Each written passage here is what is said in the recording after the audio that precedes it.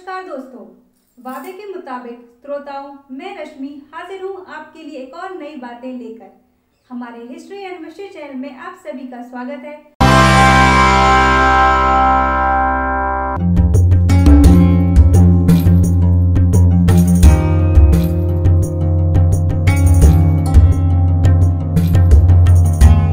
मुगल सल्तनत में वारिस का फैसला तलवार से होने का चलन शाहजहां ने शुरू किया था, लेकिन इस चलन का खामियाजा उनके बेटों को भुगतना पड़ा। उत्तराधिकार की लड़ाई में औरंगज़ेब ने अपने तीनों भाइयों को मरवा कर सत्ता हथिया ली। इनमें दारा का हश्र सबसे बुरा रहा। सियासत की लड़ाई में औरंगज़ेब की क्रूरता के बारे में सब जानते हैं, लेकिन आखिर था तो वो भी एक इंसान ही। इसलिए जब उसने अपने भाई दारा का सर कटवाकर अपने पास मंगवाया तो उसका धैर्य भी जवाब दे गया और भाई का कटा सर लेकर वो फूट फूट कर रो पड़ा। शाहजहां अपने चारों बेटे दारा शिकोह शाह शुजा औरंगज़ेब और मुराद बख्श के आपस में टकराव से परेशान था। बेटों के झगड़े से परेशान शाहजहां ने चारों को चार सूबे सौंप दिए। दारा शिकोह को काबुल और मुल्तान, शुजा को बंगाल, औरंगज़ेब को दक्षिण और मुराद बख्श को गुजरात की सत्ता सौंप कर सबको अलग अलग कर दिया। बाकी सारे भाई तो चले गए, लेकिन दारा शिकोह अपने पिता शाहजहां के पास ही रह गया। उसे उम्मीद थी कि बड़ा बेटा होने के नाते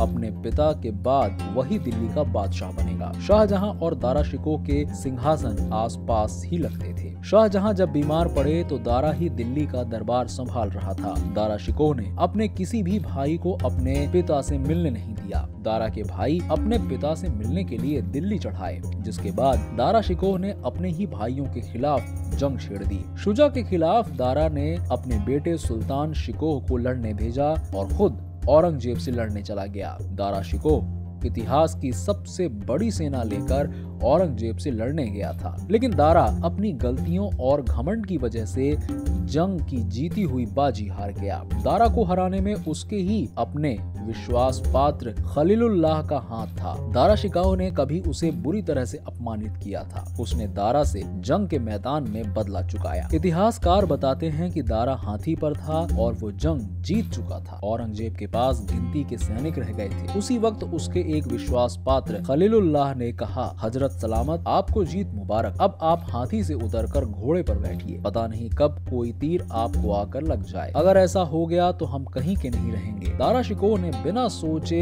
बिना विचार किए हाथी से उतरकर घोड़े पर सवार हो गया। उधर जैसे ही दारा हाथी से उतरा, उसके सैनिकों के बीच दारा के मरने की अफवाह फैल गई। औरंगज़ेब ने इसका फ़ायदा उठाया। दारा के सैनिक उसका साथ छोड़कर भाग गए और औरंगज़ेब और मुराद की मुट्ठी भर सेना ने जंग जीत लिया। दारा शिकोह को औरंगज़ेब ने कैद खाने में डाल दिया। बाद में एक रात जब दारा और उसका बेटा कैद खाने में ही अपने लिए खाना बना रहे थे तो औरंगज़ेब के एक गुलाम नजीर ने उसका सिर काट डाला। उसके सिर को लेकर वो औरंगज़ेब के पास गया। औरंगज़ेब ने दारा के सिर को थाली में रखवा कर बुलवाया और जब उसे भरोसा हो गया कि ये दारा शिकोह ही है तो वो फूट फूट कर रोने लगा। औरंगज़ेब के आदेश पर उसके शव को हुमायूं के मकबरे में दफनाया गया। हाँ लगी आपको हमारी हिस्ट्री एंड मिस्ट्री की एक और नई पेशकश आप हमें ज़रूर बताएँ। और हाँ हमारे चैनल को सब्सक्राइब करना ना भूलें ताकि आपको प्रतिदिन नए नए अपडेट्स मिलते रहें। कल तक के लिए मुझे इजाज़त दें। धन्यवाद।